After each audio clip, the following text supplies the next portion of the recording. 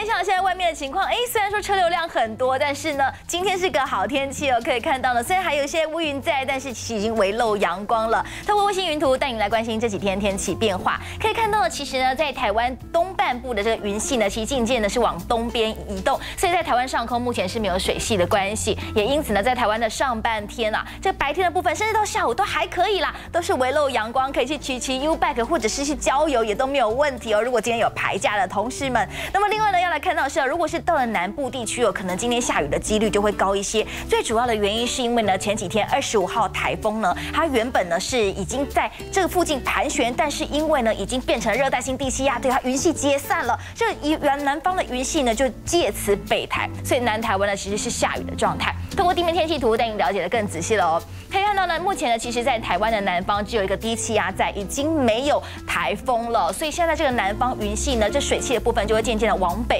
而且它笼罩的范围其实还蛮大的，到整个台湾都会有，因此明天之后就要开始变天了，后天呢，所以甚至呢是下雨，是下得非常的大的，带大家来看一下这几天的天气预示喽。昨天看到啊，今天其实还是是在晚上的时候会下雨的，而且晚上睡觉可能会睡不安稳哦，因为这雨滴滴滴答答会下得很大哦。预估到明天啊，其实都是雨势蛮大的情况，一直呢要到礼拜四的时候呢，其实雨才会渐渐的停。但是哦，这东北季风好像接力赛一样的选手，一波接着一波来，在礼拜四的时候就会报到了，而且低温呢是只有十七度，今天也不容小觑哦，因为今天其实在辐射冷却的部分，有一些空旷地区还是只有十六、十七度。那这到了周末呢，大家可不可以期待一下呢？嗯，是可。可以的哦，虽然说低温还是有十七、十八度左右，但是呢，因为比较没有那么湿热啦，是干冷的状态，所以大家呢可以把握一下这个时间，来看各地的天气预测喽。首先呢，今天来看到，其实今天呢，北部的低温呢，大概是介于十七度到十八度之间，高温大概是二十二到二十三度之间，下雨几率呢，要归属在下半天甚至晚上的时候。另外来看到中部地区，中部地区呢，也是微微的阳光会透出哦，下雨几率呢，比前两天少很多了，百分之三十左右。那现在的低温大概在十八、十九度，大家就是早晚要注意保暖了。